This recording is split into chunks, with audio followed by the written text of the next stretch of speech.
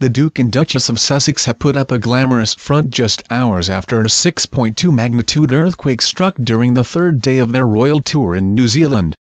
Meghan Markle stunned in an elegant cream dress, beige trench coat and nude pumps as she and Prince Harry greeted excited fans in Wellington.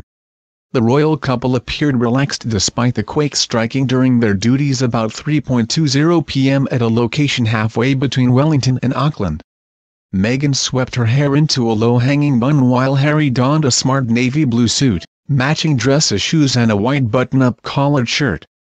The pair entered Courtenay Creative, in Wellington, hand in hand and beamed as they were greeted by actors in medieval costume before posing for a photo with a larger theatrically dressed group.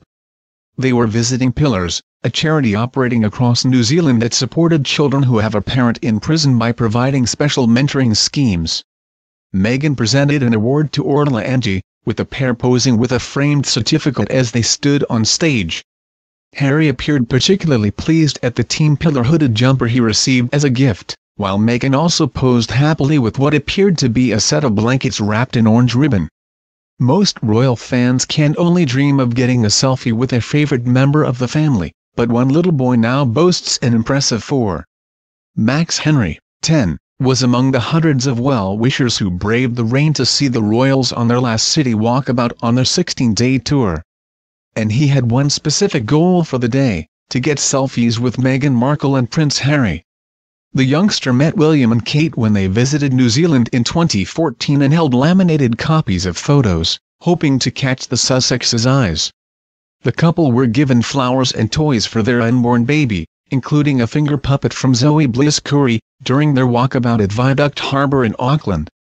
Prince Harry and Meghan Markle's first engagement of the day was a trip to a native bush reserve at Redvale on the city's north shore. The royal couple's main focus of the visit was to dedicate the 20-hectare area bush to the Queen's Commonwealth canopy. They unveiled a plaque recognizing the dedication to the QCC, which conserves indigenous forests for future generations, before planting trees at the site.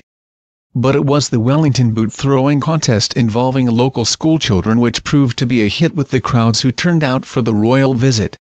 Meghan's team emerged victorious, with the Duchess proving quite the natural in the unusual contest, given it was most likely her first time partaking in such a sport. She had swapped a stylish navy blue blazer for a black hooded zip-up jacket with the QEII National Trust logo for the occasion the same jacket her husband wore. The $219 Wellington boots worn by the couple are from the original Muck Boot Company.